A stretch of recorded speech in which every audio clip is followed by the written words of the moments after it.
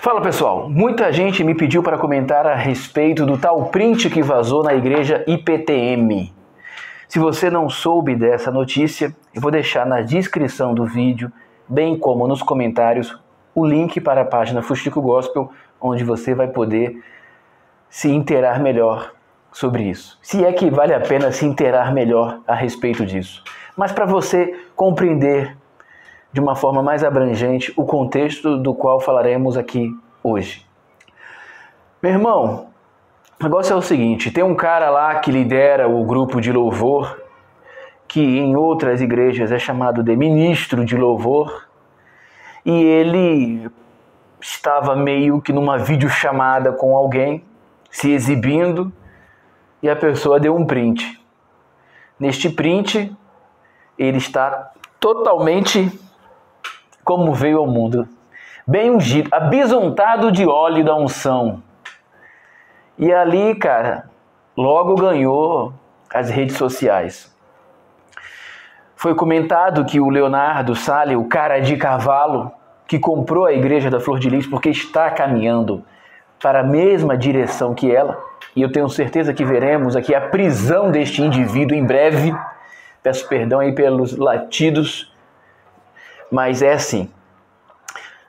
Tenho certeza que veremos a prisão deste indivíduo em breve. Meu irmão, ele já sabia de tudo isso. Mas é lógico que ele sabia de tudo isso. Quantos não são os vídeos que já fizemos aqui sobre o cara de cavalo? Quantos não, quantos não são os vídeos que já fizemos aqui sobre escândalos protagonizados por líderes de sua própria instituição. O que esperar de alguém que coloca atores em cima do púlpito? Quantas vezes eu já falei isso aqui? O cara põe atores porque já não se dá mais o trabalho de usar um aplicativo, de pesquisar a placa do carro, de pesquisar pela hashtag, de pesquisar. Para que ficar decorando tudo isso se ele pode contratar atores que vão ali, abra a Bíblia agora no versículo tal. Eu já falei Laudinei, agora Claudinei eu nunca falei. Aí o cara vai chora porque viu o nome dele em Mateus capítulo não sei quanto. Meu irmão, quantas vezes o cara não faz? É um script. E é impressionante como que funciona esse script.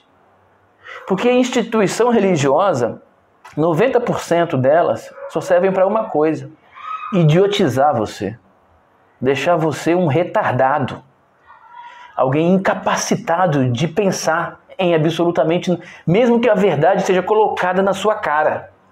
Eu coloco aqui a prova que o cara é um falso profeta.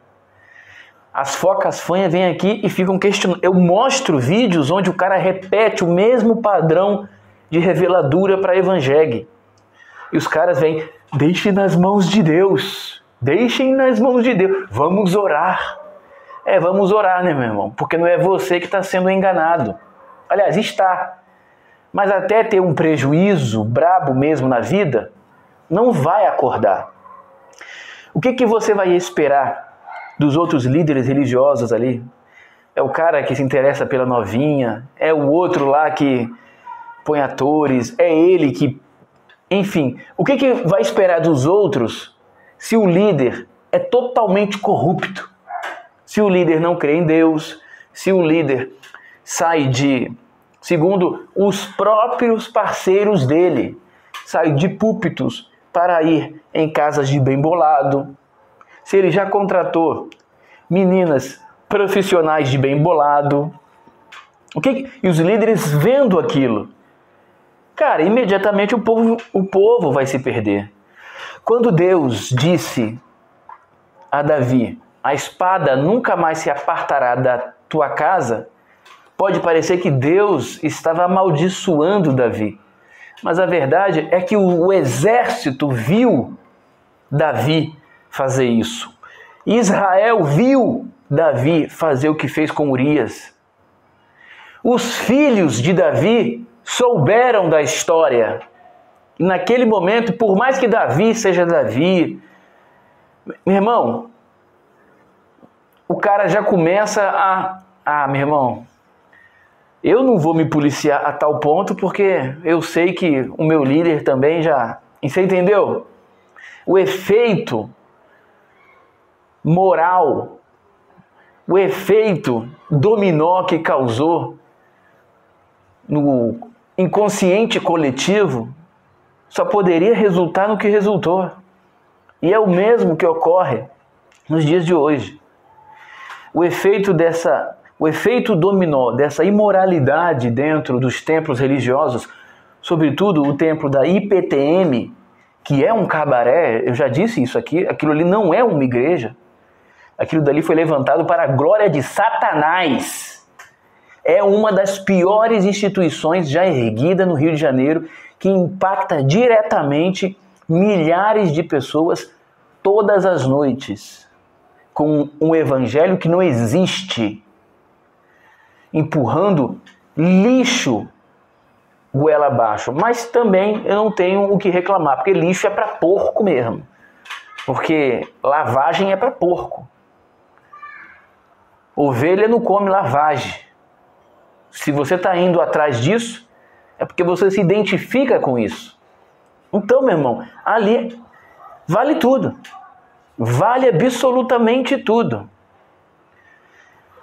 Não vai acontecer nada com o rapaz, porque o rapaz sabe de todos os podres do próprio líder. Pode re receber uma repreensão moral ali, ficar umas duas semanas afastado, mas depois logo volta como se nada tivesse acontecido. Afinal de contas, ele conhece como ninguém os pormenores daquela instituição.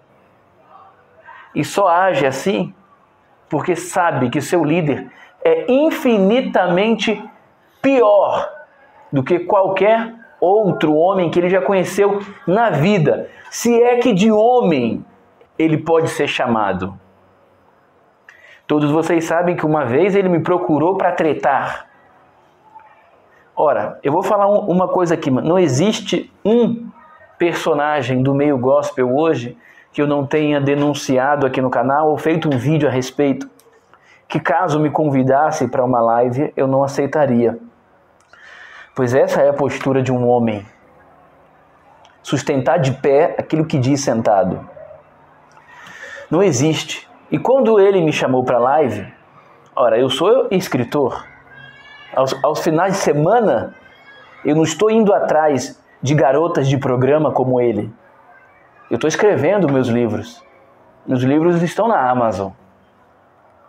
Então eu, eu, estava trabalhando, diferente dele.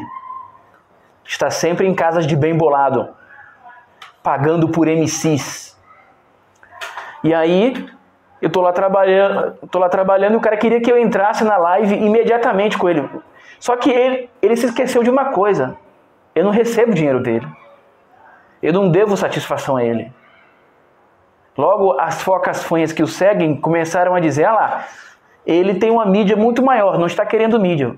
Entra na live, topa. Eu vou, calma, calma, calma, não criemos pânico, não é assim. Deixa eu terminar o meu livro primeiro e aí a gente entra na live. Amanhã a gente entra na live. Era no meio ali da pandemia.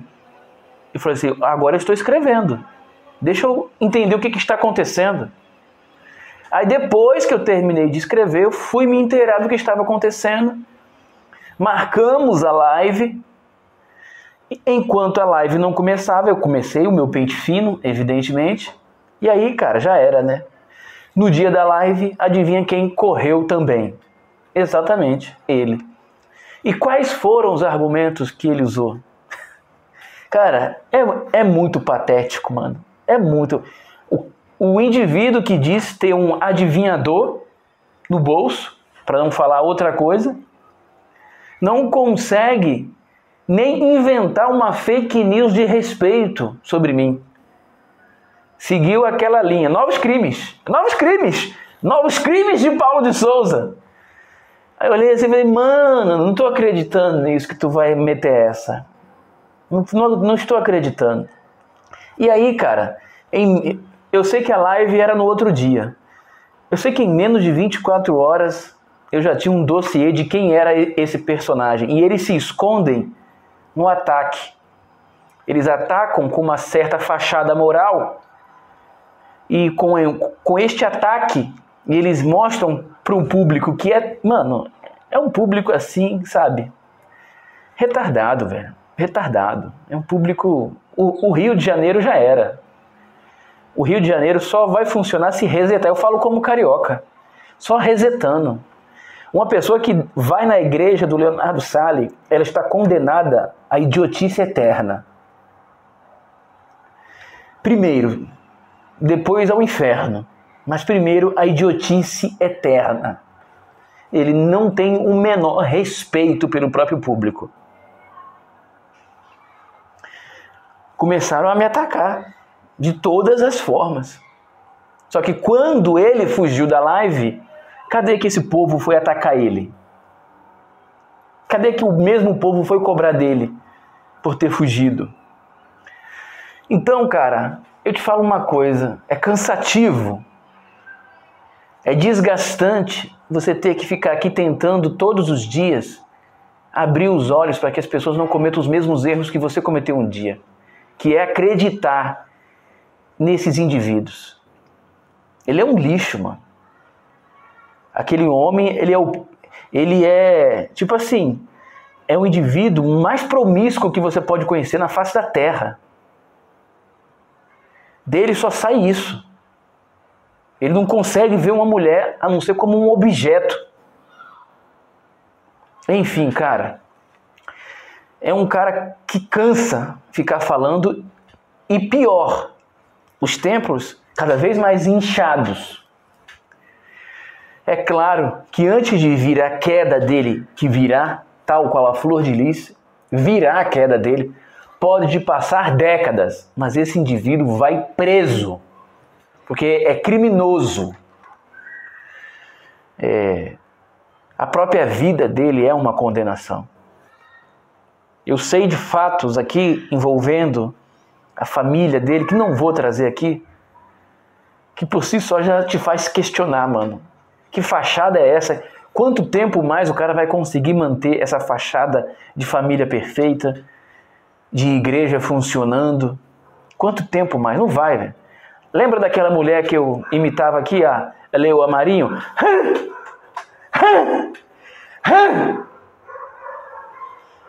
Eu descendo a lenha nele, ele faz umas piadinhas sem graça e ela rindo do lado dele. É porque eu estou sem meu computador, não consigo fazer a montagem. Até a Leoa Marinho já abandonou ele. Todo mundo está saindo fora, porque está vendo ele desmoronar. A vida desse cara é uma condenação. A vida dele, todo dia de manhã, colocar os pés no chão, para ele, é um desafio, porque ele deseja não existir mais. Bom, curta o vídeo, compartilha, se inscreve no canal e a paz pela espada. E fuja desses templos de Satanás